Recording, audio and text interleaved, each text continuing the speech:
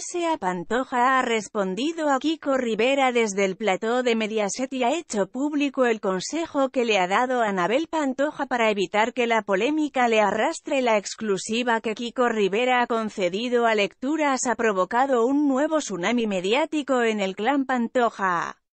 El marido de Irene Rosales ha cargado sin piedad contra su prima y su hermana y ha tomado la decisión de reconciliarse con su madre tras muchos meses distanciados. He pasado un año y medio creyendo las patrañas de Anabel, se ha sincerado el DJ dolido, mientras que la colaboradora de Sálvame ha guardado silencio y se encuentra disfrutando de sus primeros días de casada y ese Pantoja ha dado la cara en el programa de Aria dejado clara su opinión tras los ataques de su hermano, y ese Pantoja ha desvelado, ante los colaboradores del Club Social presentado por Ana Rosa Quintana y Joaquín Prat, la expresa petición que le ha hecho Anabel Pantoja para evitar que salga escaldada.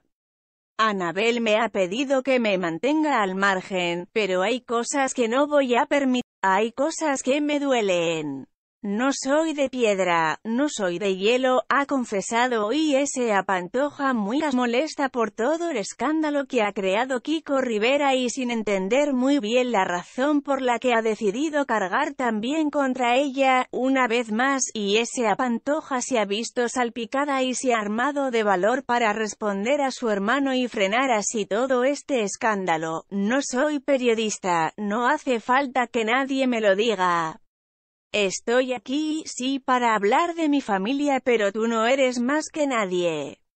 Estoy harta de la... Además, no ha querido terminar su intervención sin explicar cómo fue la misa que se celebró en Cantora en honor a Doña Ana, una reunión a la que Kiko Rivera no asistió, no hablamos de Kiko. Estuvimos en una misa por mi abuela. Mi madre nos avisó a los tres y al día siguiente nos presentamos Anabel y yo, mi hermano no sé por qué no vino. El ambiente en Cantora es triste y la joven está harta de todos los enfrentamientos que han tenido lugar desde octubre de 2020 y a pesar querer mantenerse neutral, ha vuelto a ser arrastrada por las críticas